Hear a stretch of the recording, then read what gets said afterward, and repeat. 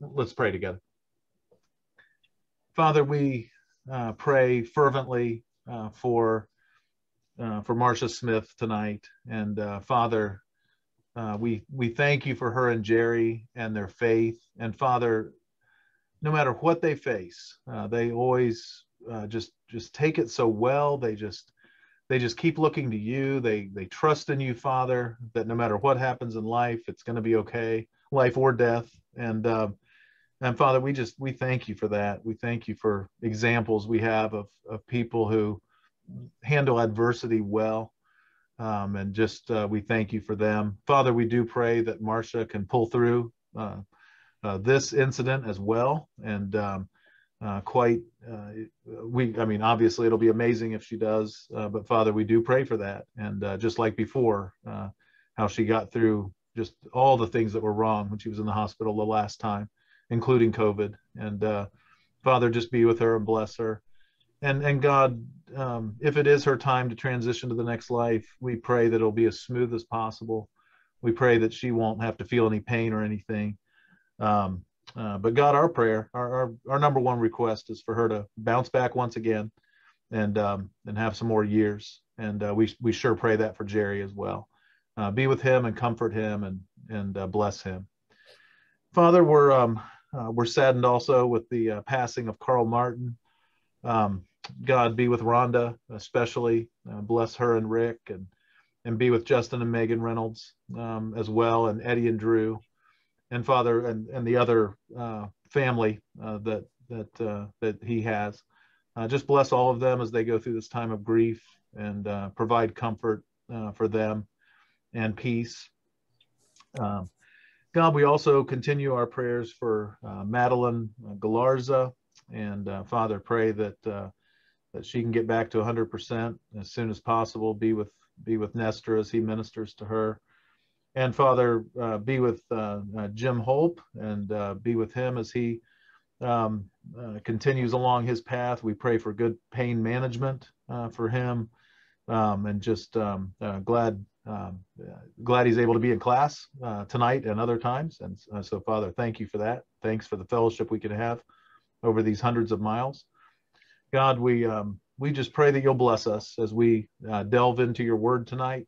Um, help us to really, um, uh, despite the, the, the negative things uh, today with Marcia and Carl, uh, we do pray that we'll be uplifted by your word, that we'll be motivated by it, and that we will that our lives will be um, in con- they will they will be parallel to uh, the and and right along with what you want us uh, to be, Father. Uh, we pray all this in Jesus' name, Amen. Uh, he'll finish out the book. We have uh, Genesis 50, the first half uh, next week, and then on February 28th, the second half of Genesis 50. So, looking forward to. I'm sure that'll be great.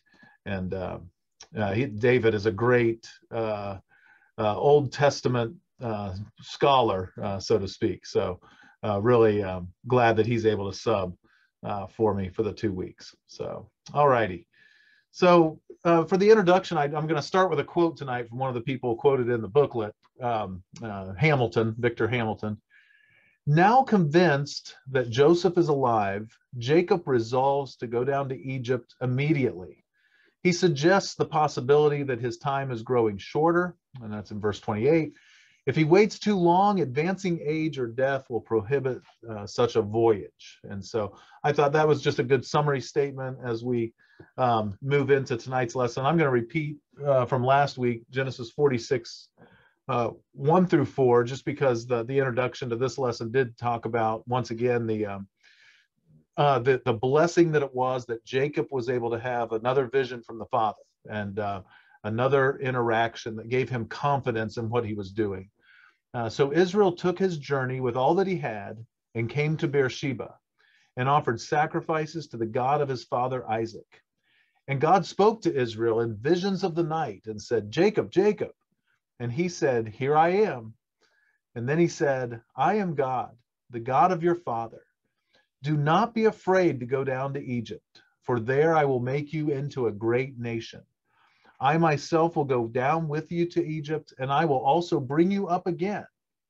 And Joseph's hand shall close your eyes. And as I mentioned last week at the close, I think that's a super touching uh, part of the text here, part of what God wanted us to see, um, that He gave Israel um, the confidence to know um, that Joseph would be there at his death, and I, I think that's really uh, comforting. We we all want people we love to be around us, if possible, when we when we pass away. Um, and then again, I wanted to show you the map just because this one does show Beersheba. So they were in Hebron. All the brothers came back to get uh, to bring Israel, to bring Jacob uh, to uh, to Egypt.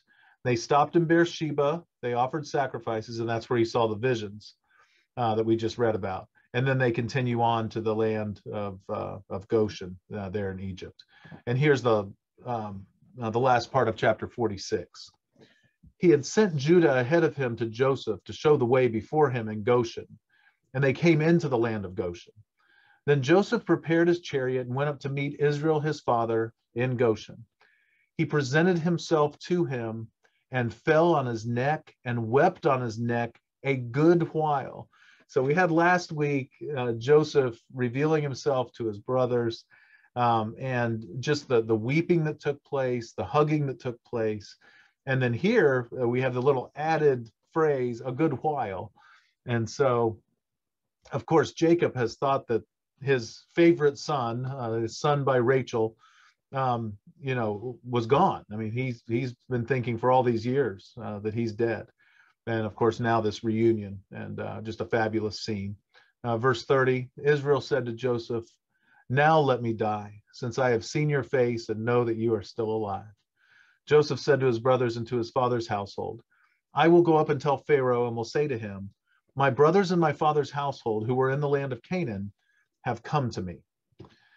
And the men are shepherds, for they have been keepers of livestock and have brought their flocks and their herds and all that they have.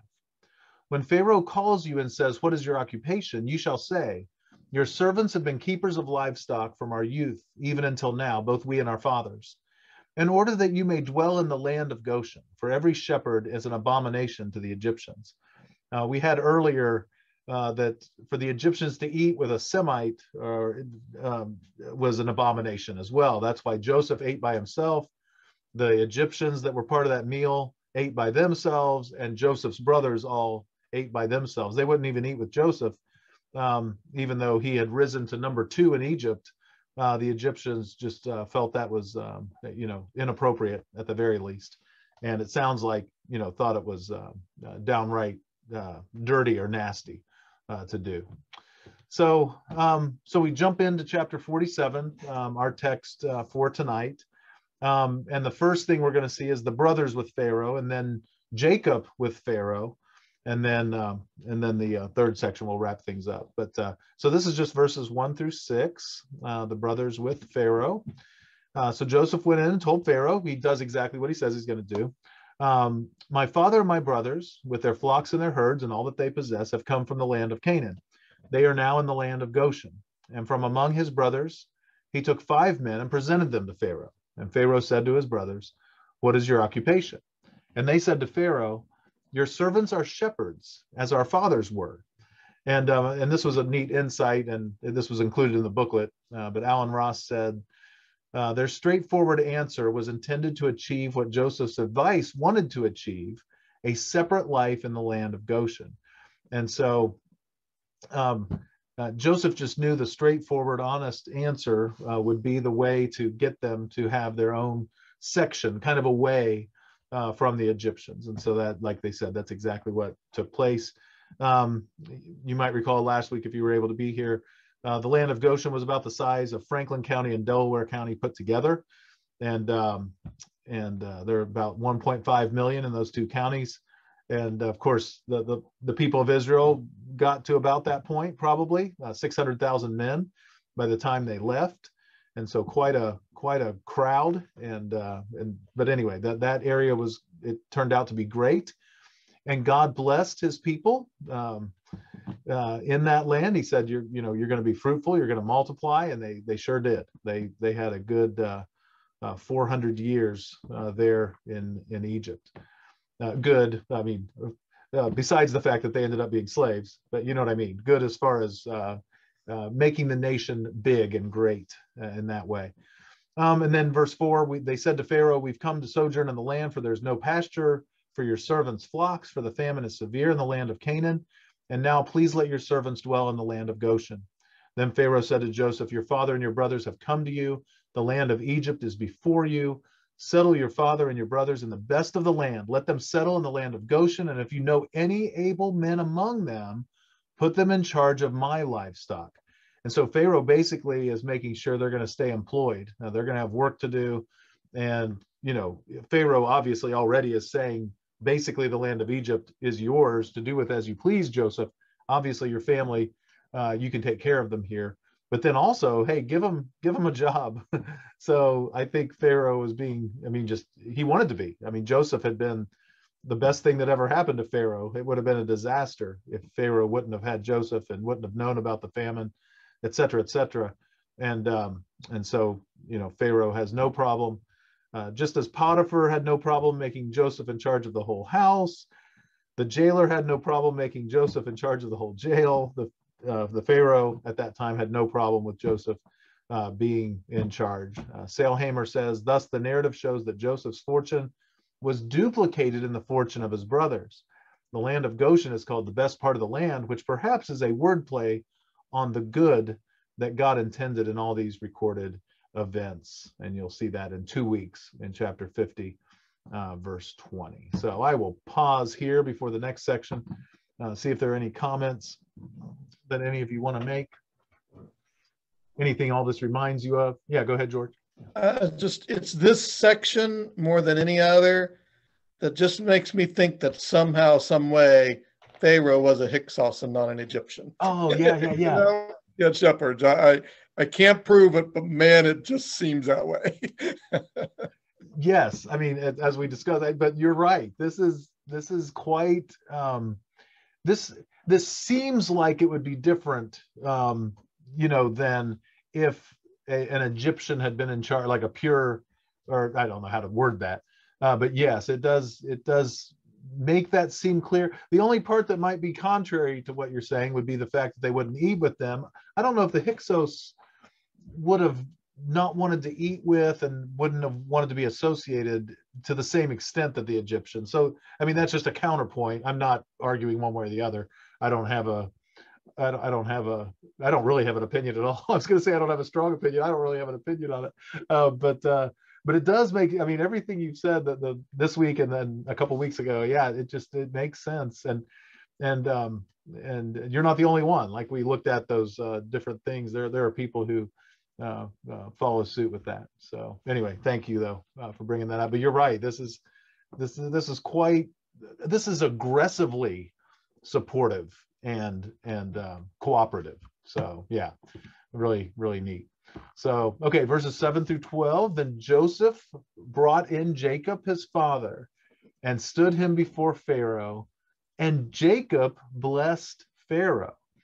Um, and and then I put in one of the quotes from the book. I thought it was good, but that that's quite a for Jacob to come in and bless the Pharaoh is contrary to what you would think would happen there. You would think, um, well, maybe the text is wrong, but it's it's that's the way it is. It's it's Jacob blessing Pharaoh and and uh, Kuruvilla and others feel it's it's mainly because of age. There was just a high respect for age in the ancient Near East and into Egypt throughout this whole region, and especially at that time, uh, just just a huge huge deal. And uh, so, in the audience between Jacob's sons and Pharaoh, the former are recipients. Jacob's sons are the recipients of Pharaoh's favor, of his blessing.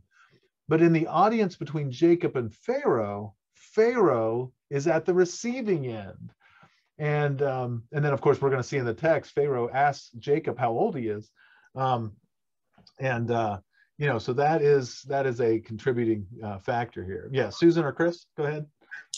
But maybe he's taking a, maybe he's taking an account that all the blessings he got from his son and showing respect to take care of his family as well, since they're taking care of both the Egyptians and Pharaoh themselves. So yeah, that's kind of where my mind went with it. So yeah, there's no doubt about what you're saying. Yeah, absolutely. Yeah, that's a great point. So anyway, but but pretty cool, pretty pretty neat right here. And thank you, Chris, for uh, for pointing that out. Um, so then Pharaoh said to Jacob, "How many are the days of the years of your life?" and Jacob said to Pharaoh, "The days of the years of my sojourning are 130 years. Few and evil have been the days of the years of my life, and they have not attained to the days of the years of the life of my fathers." in the days of their sojourning. Um, you know, uh, Abraham and Isaac uh, lived longer. Uh, I can't remember. It seems like Isaac lived to 170. I can't remember. This is in the diminishing years of people's age. You know, it's it's getting more and more like our years. And by the time of the New Testament, well, even before that, and the once we get out of this time period, the the years are are pretty much as we expect them to be even today. Um, but um, he I I I wish he but his days he he knew he would go in sorrow down to Sheol. You know, once Joseph was dead, Jacob kind of just lost his will to live, so to speak. I mean, obviously he lived a long time still, but um, he calls his days few and evil. And uh, so now, evil in the Hebrew uh, does not necessarily mean evil as a, as as we would think of it. It doesn't necessarily mean immoral it could just mean uh, evil's also used to just mean uh, bad in general. So just a a, a general uh, life of lament, uh, maybe uh, could be what he meant. But uh, but few and evil have been the days of the years of my life. And he just points out he hasn't lived as long as as his fathers. Um, the word sojourning, um, the idea that he considered his life a journey uh, was just a fabulous attitude. And I think Abraham, Abraham literally uh, wondered. Uh, he, he literally was on a journey the whole time, just about. Um, and uh, but he realized his life was that. And uh, and Hebrews 11 brings this out, talking about the people of faith. Um, these all died in faith, not having received the things promised, but having seen them and greeted them from afar and having acknowledged that they were strangers and exiles on the earth. And so this, you know, this is talking about all the people of faith from the Old Testament, you know, as you go through the list of them. And so this, these aren't people who we would expect that from, people that know Christ, people that know more about eternity, you know, the, you know, us and anyone from Christ on. These were people before that. They realized it. And I think that's a great uh, thing for us to realize. They, they also realized that there was something else coming, that this wasn't their real home. Uh, verse 14 For people who speak thus make it clear that they're seeking a homeland. If they had been thinking of that land from which they had gone out, they would have had opportunity to return. But as it is, they desire a better country, that is, a heavenly one. Therefore, God is not ashamed to be called their God, for he has prepared for them a city. So just really, really awesome. I love that pass. I, I quote Hebrews 11, 13 to 16 a lot. And um, it was nice that in the booklet it was referenced. And so I wanted to uh, share that with you here. But he, you know, Pharaoh asks Jacob, how many years of your life, you know, have you lived? You know, and he uses, you know, life and lived. And then Jacob turns it around. Both times he says, he says sojourning concerning his life and then also concerning the lives of his fathers who lived, you know, longer than he did. Both times, uh, he calls it a, a journey, an expedition. Um, he he talks about sojourning, uh, traveling through this life. So Jacob blessed Pharaoh and went out from the presence of Pharaoh. Then Joseph settled his father and his brothers and gave them a possession in the land of Egypt, the best in the best of the land, in the land of Ramses, as Pharaoh had commanded. And Joseph provided his father, his brothers, and all his father's household with food according to the number of their dependents. So um, Joseph, of course, he's in charge of all the grain. He's in charge of all the food of the land. As we're going to see um, just a little bit, I'm going to read you the section that wasn't technically part of our lesson for tonight. Um, and but he he takes care of his family, uh, number one. So pretty pretty awesome, pretty neat. Um, okay, the the part between um, it just kind of gives a, a, general statement about how Joseph handled everything. Um, he sure handled this as, as shrewd as a snake. you know, Jesus said, be as shrewd as vipers or whatever the word he uses there, um, or shrewd as serpents, maybe. um, uh, but as peaceful as doves. But uh, Joseph definitely, he's the businessman uh, during this time. He already has been. He's uh, handled this all uh, for Pharaoh's benefit. And he doesn't stop uh, with just taking payment for this grain. Um, he um, he starts taking taking the land. Pharaoh ends up with everything except the priest's land. And this is all you know Joseph's doing, and the people are willing to do it because they know they'll die if they don't do it. So uh, he's definitely um, he. I would just call him the businessman through this. He does everything. Uh, he is loyal to the one who put him in this position. He is loyal to the Pharaoh, that's for sure. So uh, 13 to 26, and then I'll pause again if, if any of you want to uh, mention anything. Uh, now there was no food in all the land, for the famine was very severe, so that the land of Egypt and the land of Canaan languished by reason of the famine. And Joseph gathered up all the money that was found in the land of Egypt and in the land of Canaan in exchange for the grain that they bought. And Joseph brought the money into Pharaoh's house. And when the money was all spent in the land of Egypt and in the land of Canaan, all the Egyptians came to Joseph and said, Give us food. Why should we die before your eyes? For our money is gone. And Joseph answered, Give your livestock, and I will give you food in exchange for your livestock, if your money is gone. So they brought their livestock to Joseph, and Joseph gave them food in exchange for the horses, the flocks, the herds, and the donkeys. He supplied them with food in exchange for all their livestock that year. And when that year was ended, they came to him the following year and said to him, We will not hide from my Lord that our money is all spent. The herds of livestock are my Lord's. There's nothing left in the sight of my Lord but our bodies and our land. Why should we die before your eyes, both we and our land? Buy us and our land for food, and we with our land will be servants to Pharaoh. And give us seed that we may live and not die, and that the land may not be desolate. So Joseph bought all the land of Egypt for Pharaoh, for all the Egyptians sold their fields because the famine was severe on them. The land became Pharaoh's. As for the people, he made servants of them from one end of Egypt to the other.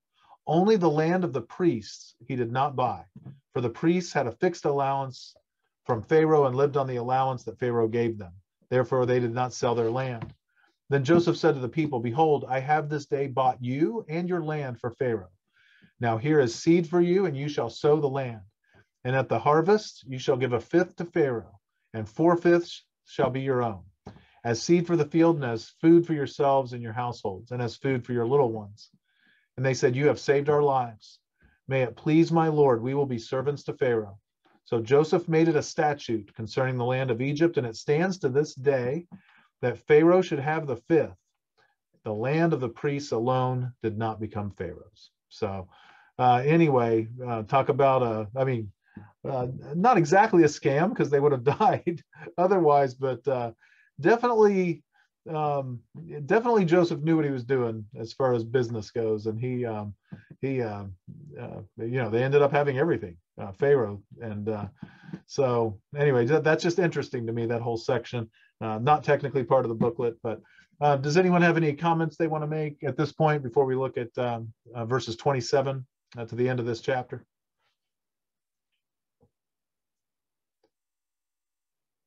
All righty.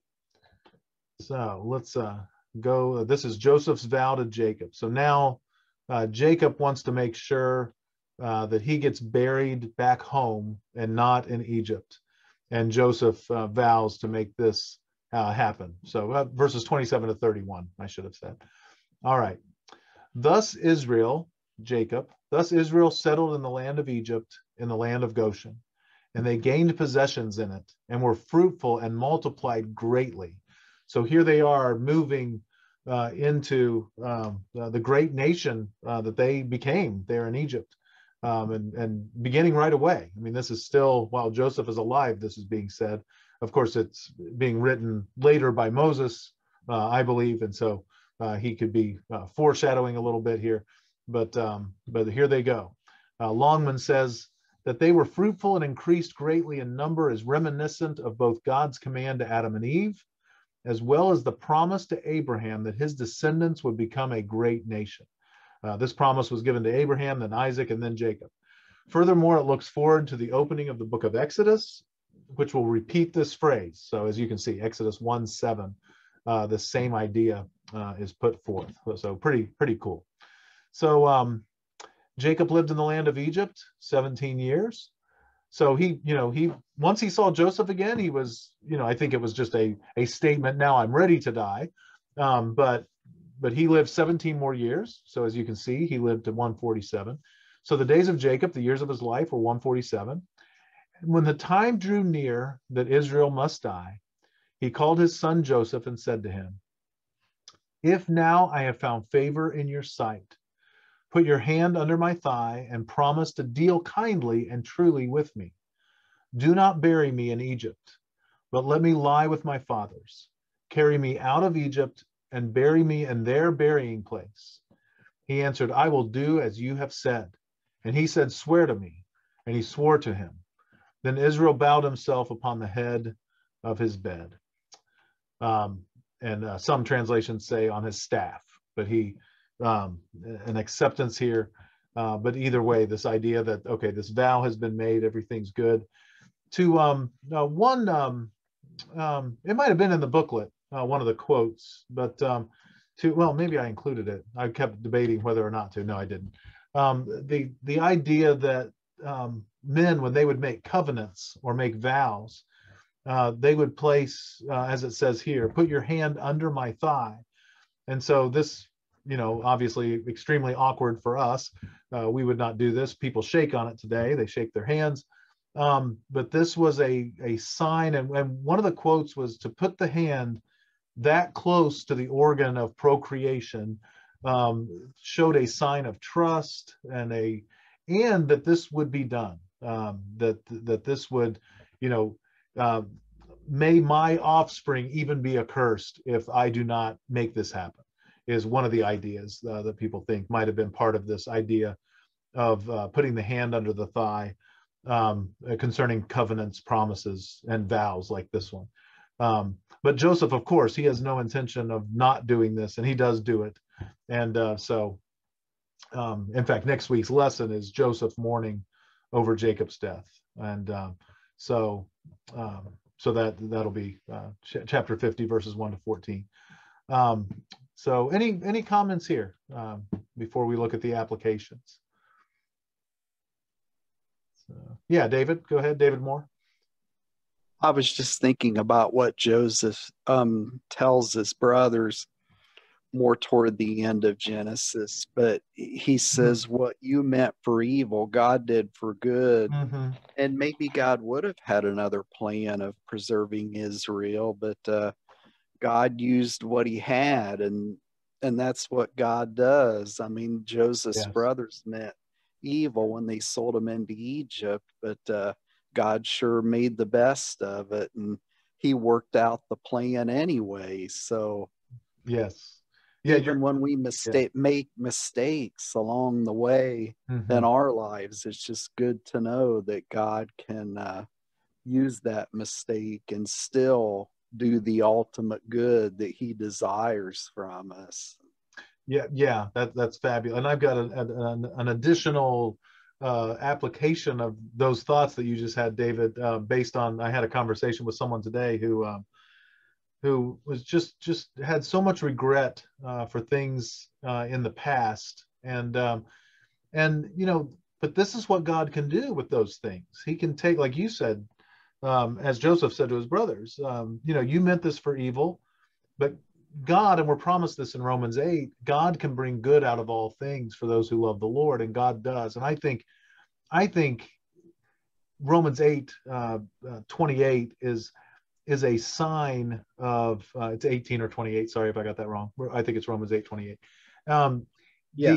The, the yeah. um the fact that God can do that, I think, shows his power, shows his mercy, shows his love. I think um, that left to things being natural, uh, evil would only lead to more evil. Uh, but because God is involved, uh, we can make those mistakes, like you said, and and Joseph's brothers can make this huge mistake of selling their brother into slavery, and um, and God can take those things and, and turn them on their heads, and um, and and change according to His plan. I agree with you also that if He would have found some way uh, to bring the Christ into this world, obviously. But this is what God wanted. He wanted it to be through the line of Judah. He wanted it to be this way, and of course, He helped make that happen. So um, anyway, thank you, David. George Pryor, uh, go ahead. it's just I I find it really interesting that in a time that basically everyone will agree Genesis 12 on is after the pyramids, you know, Mhm. you know 2000 BC or later, but things are still pretty different on the world than the way we know them because people are living a whole lot longer.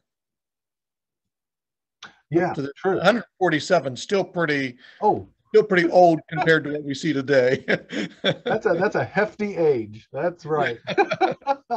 that's that's pretty. What's it? Does anyone remember Joseph's? Was he 120? Did he make it to 120, or was it?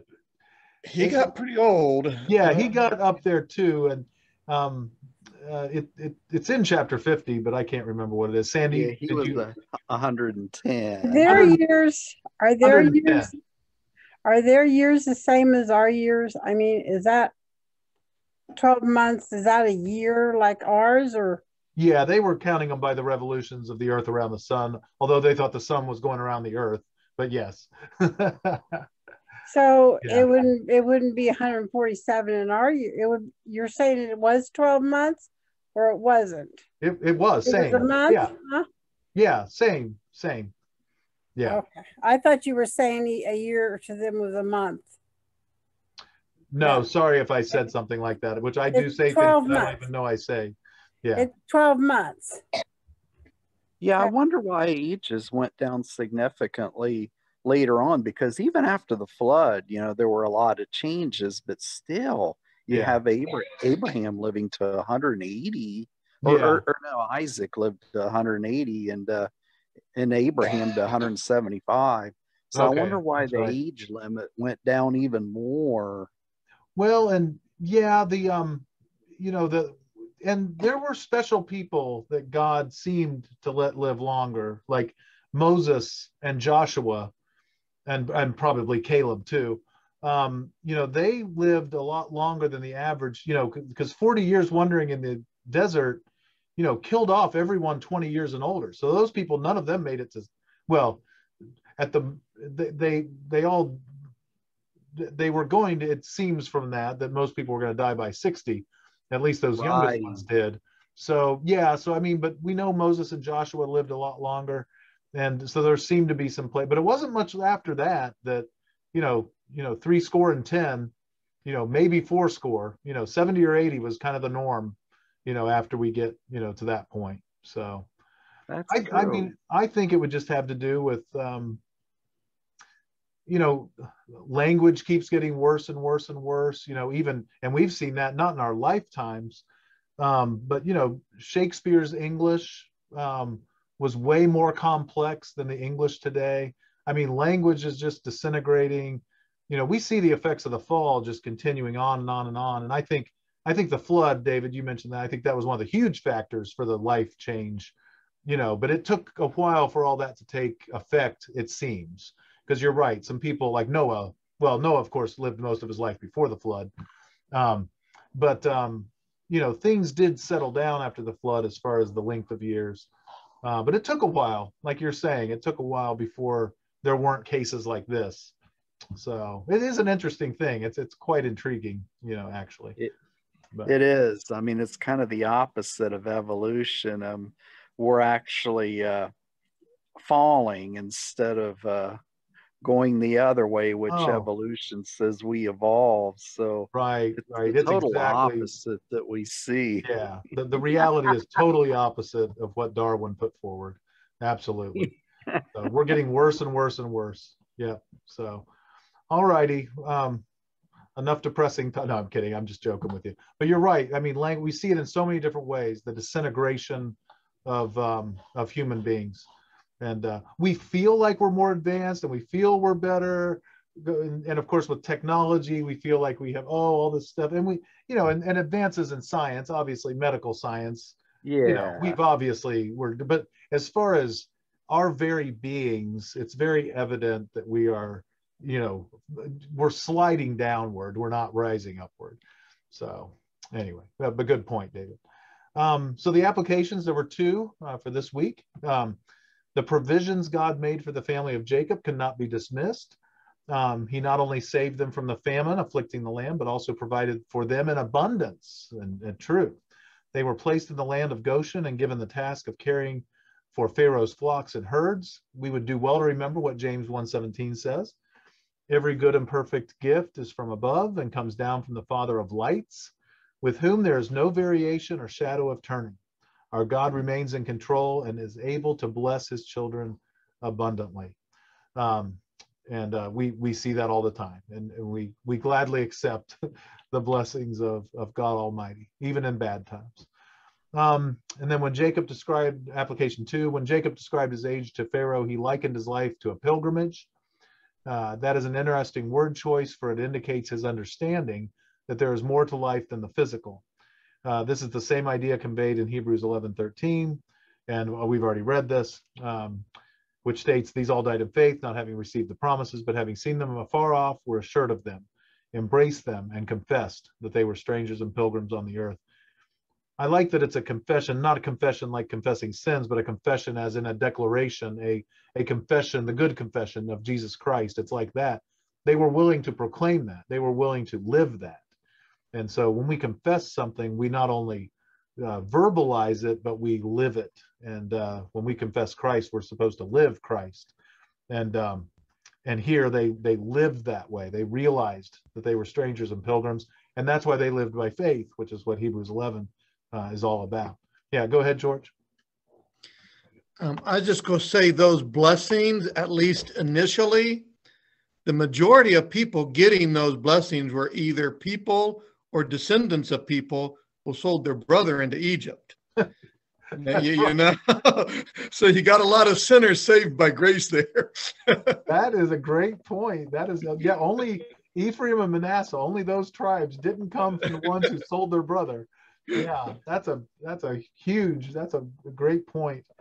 Um, and just thinking about that, um, uh, I think uh, in Luke two, um, uh, the the the uh, prophetess Anna, who got to see the Christ before dying, uh, she was from the tribe of Asher, and I was thinking, you know, we don't we don't really hear much about any of the tribes at all except uh, Judah, and uh, because Christ came through that one, and they were the really the ones that stayed faithful the longest. They still went into captivity, but uh, uh, uh, between between the other uh, the other ones in Judah, Judah stayed faithful longer. But uh, yeah, that's that's interesting, George. That's an amazing way to put that because you're right, um, absolutely right. Um, all right, there were three uh, discussion questions. You're welcome to uh, uh, respond to any of them if you'd like. Uh, what we, we talked about some of this. What does this passage teach us about the provisions of God for his people? What can we learn from the meeting that occurred between Pharaoh and Jacob? And why do you think Jacob wanted to be buried in the promised land? So, um, uh, and with that, I will make it just a slight comment. I don't uh, see anyone unmuting on the last one, I think it was just because he knew the promise. You know, Abraham, Isaac, and Jacob had direct, God directly told them the promise about the land, about their descendants. And, uh, you know, Jacob didn't want to be buried in the wrong place. so I think it was probably just pretty simple, but people want to be, uh, people, especially as they get older, want uh, nostalgia sets. But with him, I think it was a very godly thing to want uh, to be back um, uh, buried with Rachel, um, perhaps as well. So yeah, just a very, uh, probably pretty logical uh, thing there. Yeah, go ahead, George. So Jacob matures into somebody who's pretty spiritual. Yeah. I wouldn't have want to have been his friend in the younger years. So he's a he's a lesson as to what the discipline of God can do for you throughout your life. That that's a great point because Jake, you know, we kind of you know, we kind of look down on Jacob when he's, you know, having Esau sell his birthright for a bowl of soup, and you know, I mean, just all these different things Jacob did. Um, you know, it, it's, um, but he, you're right, he really does mature and really, um, it, it's interesting. You're gonna, um, uh, anyway, as he blesses the sons, um, that's an interesting um, set of, of verses too. I think that's though. I don't know if that's covered in the booklet. I think that's 48 and 49. It might be part in 50 but uh, anyway, uh, interesting reading there. I, I encourage you all to read 48 and 49 before next week, if possible, because next week jumps into 50. Uh, go ahead, Sandy, uh, please. I think human nature that is that way, period. I think people as they get older, they realize and they see more and, and, and they know more. I just think mm-hmm. it, I think younger people do stupid things all the time. I just think that's human nature, period, though. Yeah, I, I think you're right. I think, and and and hopefully it's true, and hopefully people mature, and and and people are kind of forced to mature uh, to some extent, and and of course for all of all of us in Jesus Christ, you know, the maturing is not just a maturing because of age, but we should be maturing as as George was saying, Jacob did maturing in faith, maturing in spirituality, moving in that uh, right right direction. And uh, uh, go ahead, George, again. And then Donna, I see that you. I just um, well. yeah. when I was at Oklahoma Christian taking um, wisdom literature and Proverbs under Dr. Jones, I just remember him saying, he said, "You know, wisdom is with the aged." But there's no fool like an old fool, also. That's a great saying. That's really good. That's funny. Uh, go ahead, Donna. Well, yeah, when Sandy said that, I was thinking um, kind of like what you said, Clay, about, you know, if we have godly wisdom, then we do mature as we get older. Um, but not everybody has got, you know, there, I mean, I know some old, like, kind of like George said, I know some older folks that, that, you know, haven't matured, you know, and they, they're pretty old, you know, they're pretty up in in years. And but you know you you got to acquire and and strive for that godly wisdom. Yeah. You know and that's how you i think um make better decisions and all when you get older so. Yeah yeah i think that's yeah right on. Uh, thank you yeah. Uh, david moore go ahead. Thing. I've noticed my maturity in the lord and I just have so much more um, wisdom now and what the Lord is showing me, doors He's opening, and than I did when I was younger. I'm just a lot more in tune with what the Lord wants, and yeah, and that's that that's great. It, it is, and you know, I it's it's I I think it's important that we can recognize those things. Hopefully, you know we are um, more mature in the Lord now than 10 years ago or five years ago, and, and hopefully we'll be looking to be uh, more mature in, in five years or in 10 years. And and the the Christian journey, as uh, Jacob put it, the the sow yeah. journey, um, uh, the journey that this life is, um, is one where uh, there should be growth and and movement. And so that's that's great, David, that you're able to uh, recognize that and and and you you know and giving the glory to who it belongs to and that's god so i think that's, that's, that's fabulous so all right well the next two weeks it'll be um, uh, chapter 50 and like i mentioned at the at the top in case uh, you weren't quite in here uh, some of you but uh, um, uh, uh, david mays will be teaching the login credentials will be the same several of you in here now do the tuesday morning class Greg wants to practice being the host, so you. But I'll send those out. But the the the login for uh, in fact I already did. Um, uh, the, the login for Tuesday morning is different, so look at the latest email uh, for that. Um, uh, for this even coming Tuesday morning, he wants to do it once while I'm in town to make sure it all goes okay, and then he'll do it the next couple Tuesdays. But anyway, so just be watching the emails closely for the login stuff, and of course we start a new quarter. Uh, the following week, um, uh, uh, March 7th begins the new quarter, uh, but several of the classes are starting on March 1st or 2nd as far as the new quarter goes. So just keep your eye on everything. Uh, but for this class, you don't need to change anything. February 21st, mourning for Jacob, February 28th, fear and assurance. It'll be the same link that you clicked on tonight and you'll be able to get in. Um, David Deacon, if you would lead us in a closing prayer, I'd appreciate that. Thanks. Let's pray together. Lord, we thank you for this evening and the blessings you've given us. We thank you for the opportunity to study and to fellowship together. We pray, Lord, that you'll bless us this evening as we as we finish this class, and pray, Lord, you bless us tomorrow in our worship. We pray these things in Christ's name. Amen.